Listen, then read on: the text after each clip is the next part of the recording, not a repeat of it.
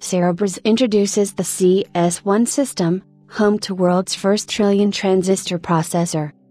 Cerebras has introduced the world to its CS1 system, which will house the company's, and simultaneously, the industry's, most powerful monolithic accelerator.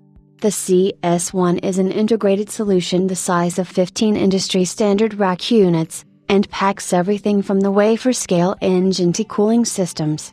The CS1 consumes 20 kilowatts of power, with a full 4 kilowatts dedicated solely to the cooling subsystem, like fans, pumps, and the heat exchanger, 15 kilowatts dedicated to the chip, and 1 kilowatt is totally lost to power supply inefficiencies.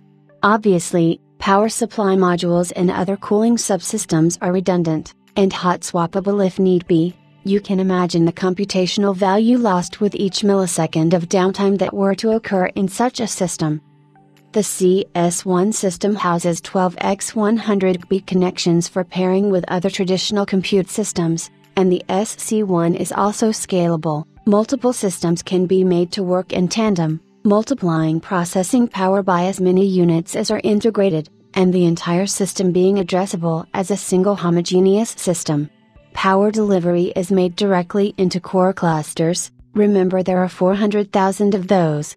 Already deployed in the Argonne National Laboratory, crunch time on the SC1 is being used to power through cancer research. What an amazing addition to WCG this would be, right? And black hole research.